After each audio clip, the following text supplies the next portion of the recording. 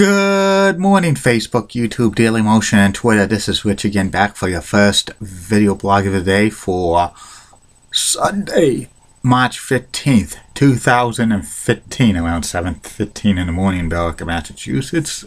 It's going to be a cloudy day, maybe some snow showers later on today. Could be an inch or two, depends on where it, uh, where it snows the heaviest. Some news to report. Boston Celtics beating the Indiana Pacers by a score of 93-89. The Celtics was trying so hard to get into playoff positioning.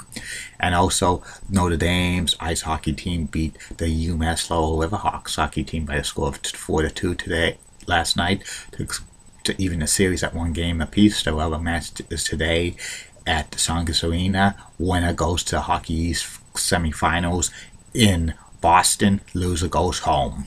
And today, today at 6 o'clock on CBS is the NCAA Men's Selection Show.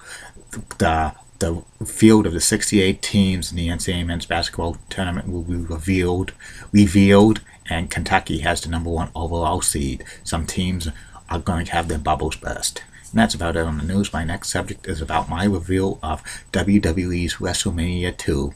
WrestleMania 2 was held in three locations New York, um, Los Angeles and Chicago, the three biggest cities in the United States, with the success of WrestleMania 1 in in in the Madison Square Garden, the WWE decided to expand WrestleMania to have it at three locations.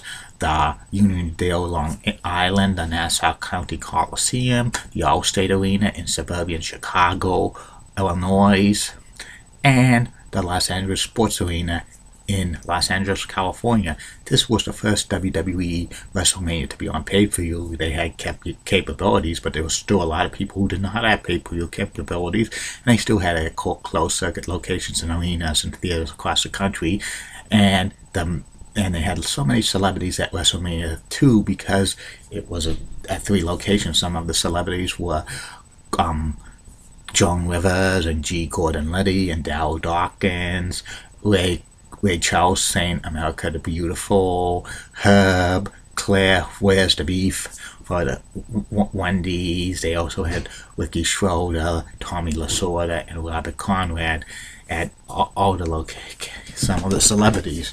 And the announced teams in New York at Uniondale Night in Newland was Vince McMahon and Susan St. James, who Susan St. James is married to the chairman of NBC Sports, Dick Ebersol. And here's the matches from the Uniondale Long Island at the Nassau County Coliseum for WrestleMania 1. I mean 2. First match was um, Paul Mr. Wonderful Orndorff against um, Don the Magnificent Muraco with Mr. Fuji. This was a back and forth match and, and stuff like that. And the end of the match had both wrestlers counted out of the ring. Hey, it was a decent match to kick off WrestleMania 2, but wasn't a five star match. The next match was for the Intercontinental Championship. It was missed. It was Randy the Macho Man Savage with Miss Elizabeth against George the Animal Steele. Steele had an infatuation with Miss Elizabeth and stuff like that, and George the Animal Steele was one of the most famous heels in WWE history, but he turned face in 1985 and became a cartoon character.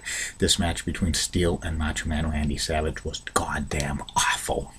Savage just wins the match, retains the title because Steele was distracted by Miss Elizabeth. This this this title match for Randy Savage was awful. He should have defended against somebody else.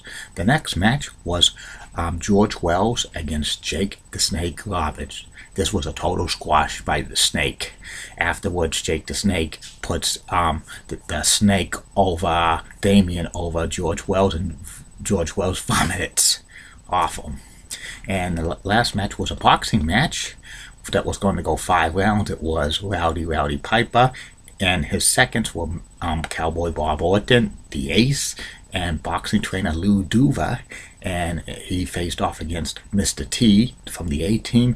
Mr. T had his as his seconds the Haiti Kid midget wrestler, and um, former boxing world champion Smoking Joe Frazier. This boxing match was a very decent boxing match, but in the third round, Piper used a body slam on Mr. T, automatically getting disqualified because you, the rules stated you couldn't use wrestling moves in the boxing match.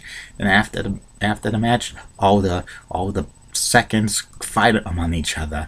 This was a decent boxing match and stuff like that, but I think this was just trying to hype up the the like the Piper Mr. T field. Now on to um, suburban Chicago at the Allstate Arena. The announced teams were Gorilla Monsoon, Mean Gene Okerlund, and Cathy Lee Crosby, who's famous for hosting That's Incredible reality television show back in the early 80s on ABC. And here's the card from the Allstate Arena. The first match was for the WWE Women's Championship. It was the champion, the fabulous Moolah, defending against Velvet McIntyre. This match was kind of a total squash. The match only maybe lasted about a minute and a half at best. Like Moolah successfully defends the title against Velvet McIntyre. This this woman's title match should not have been on the card, in my opinion. The second title, no, the second match in at at the Allstate Arena was um, Corporal Kirchner representing the USA against Nikolai Volkov with his manager Classy Freddie Blassie in a flag match, and the winner of the match had the had the option of taking his opponent's flag as well as his own flag. This was, you know, you know, a quick match. Corporal Kirchner beats Nikolai Volkov quite easily, and after the match, um, Corporal Kirchner decides not to take the the Russian flag at at well, and this match was kind of pointless if they were going to have a flag match with the, the winner not taking the flag. And then they had the 20 man over the top rope battle royal with WWE superstars and NFL players. And they had Andre the Giant, Big John Studd, the Hart Foundation, put the Hitman Hart, Jim D'Anville, Neidhart, the Killer Bees, B. Brian Blair, Jumping, put Jim Brunzell, her, I mean, Hillbilly Jim, Pedro Morales, King Tonga, Mr. Lee USA, Tony Atlas, Ted Arcidi, Bruno Sammartino, Danny Spivey, the Iron Sheik, and a few NFL players, including William the Refrigerator Perry, Russ Francis, Bill Frederick, Ed Tuke, Jones, and a couple of others. And the special referees outside the ring were Harvey Martin and Bears Hall of Fame linebacker Dick Butkus. Originally, it was going to be, originally slated in this battle royal was going to be Leaping Lanny Poffo uh, and the Big Cat Ernie Ladd, but I heard like Ernie Ladd had you know serious injuries and stuff, and he decided not to go. And the, and also like they dropped Leaping Lanny Poffo, and they put the Hart Foundation in in their place. And this battle royal was, you know, a typical battle oil. One of the endings had like Big John Studd eliminating William the Refrigerator Perry. William the Refrigerator Perry wanted to be friends with him. But then, like, Big John Studd got bounced over the top rope by Pe- um, William Perry. The ending of the match had Andre the Giant throw Bret the Hitman Hart onto his partner Jim the Anvil Neidhart. Um, Andre the Giant wins the the battle royal because he's the king of battle royals and like special guest commentator was the big cat Ernie Ladd and the and the main event for the for the the Chicago portion of WrestleMania 2 was a tag team match for the WWE tag team titles. It was the challengers, the British Bulldogs, the um, Davey Boy Smith, and the and the Diamond Dynamite Kid against uh, with Captain Lou Albano and Ozzy Osbourne, who was a big rock star, and also he's British, against the Dream Team, which was Brutus the Barber Beefcake and Greg the Hammer Valentine with Luscious Johnny, Johnny V. And this match was the match of the night for for the WrestleMania. In my opinion, back and forth, the British Bulldogs won the match, and they took the WWE Tag Team titles. I think this was probably one of the best tag team matches in WWE history, and I think this match probably saved the show from WrestleMania 2 to be an, an absolute stinker. And then they go to Los Angeles at the Los Angeles Sports Arena, and the commentating team was Jesse the Body Ventura. He was a he- heel, and he was doing play-by-play. Elvira, the Mistress of Darkness, and and Lord Alfred Hayes, and matches at the Los Angeles Sports Arena were like this. The first match was Hercules against Ricky the Dragon Steamboat. That that was going to originally be Ricky the Dragon Steamboat against the Bret the Hitman Hart, but they scrapped that match and stuff. But like Hercules and Ricky the Dragon Steamboat was a kind of a solid match. wasn't a five star, but it was a solid match to open up the Los Angeles portion of WrestleMania. Ricky the Dragon Steamboat wins it The next match was adorable Adrian Adonis against Uncle Elmer, and this match really was awful, goddamn awful. Adrian Adonis won this by by beating like Uncle Elmer. Adonis did not have Jimmy Hart in his corner, his manager, but Jimmy Hart was at Los Angeles anyway because the match, next match was the Funk brothers, Terry Funk and Dory Funk Jr., who had Dory Funk used the name Hoss in WWE with Jimmy the Mouth of the South Hart against Junkyard Dog and Tito Santana, and this was a surprisingly a good tag team match. And you know, despite like the the dog being kind of out of shape, he, he did deliver a pretty good match. This was kind of a four, three and a half, four star match, and and the ending of this match had Terry Funk used the megaphone on Tito Santana when the referee was distracted by Junkyard Dog, and then Tito Santana does the job to, I think, cost Funk for the one, two, three. Funk Brothers win. And then the main event at, at the Los Angeles Park portion of WrestleMania 2. It was for the WWE Championship inside a 15 foot high steel cage. It, it was King Kong Bundy with Bobby the Brain Heenan against Hulk Hogan to defend the reigning WWE Champions.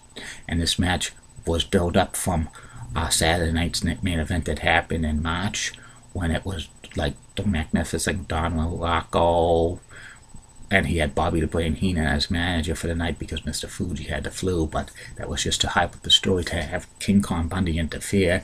King Kong Bundy injured Hogan's ribs and stuff storyline, so Hogan had the had his ribs taped, and a lot of people were saying Hogan's title reign was going to come to an end, but this was a famous cage match and stuff.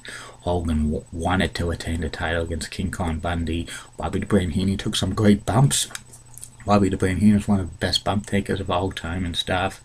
And the crowd went home happy when West, when Hogan retained the WWE Championship. What I thought about WrestleMania 2, I didn't like it having at three locations. They should have had it at one big giant location somewhere, and they should have eliminated a lot of these matches. Like, um, um they should have had like Jake the Snake Roberts wrestle somebody else because George Wells was a preliminary wrestler, and they also should have had Randy Macho Man Savage defend the Intercontinental title against Tito Santana, like, or somebody else, and they should have eliminated the women's title match. And there was a few others they could have um, eliminated and kind of added and stuff because they we they missed a Bret the Hitman Hart Ricky the Dragon Steamboat match. If it was at one location, they probably would have had that match. It probably would have been maybe know, stole WrestleMania 2. I think the best match on this card was the tag team title match between the British Bulldogs and the Dream Team. And the rest of the card, like the Battle Royal, was pretty decent. And the main event at, at, at the Steel Cage match was pretty decent. The boxing match was you know, okay, but the rest of the card was kind of filler and stuff.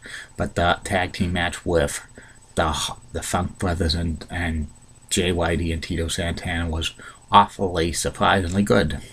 And I give this WrestleMania maybe about a 4 out of 10 stars. Was below average, but still, it was, you know, great. It was a, you know, WrestleMania was kind of, 2 was kind of feeling their oats, oats after, like, having a big spectacular at WrestleMania 1. WrestleMania 2, 2 was like, you know, quality of matches were a low down and stuff, below average, but still what WWE was, what WrestleMania was growing and growing to be a big spectacle. And tomorrow I'll reveal WrestleMania 3 from the Pontiac, Silverdome in suburban um, Detroit. This was the best, biggest WrestleMania of all time, in my opinion. WrestleMania 3, I'll tell you more about that. I'll be back later on with two more video blogs. One will be about the 500 Gold Club in the NHL, and the third and final video blog will be about on my personality profile this week will be all Montreal Expos and Montreal Canadiens players. The first one will be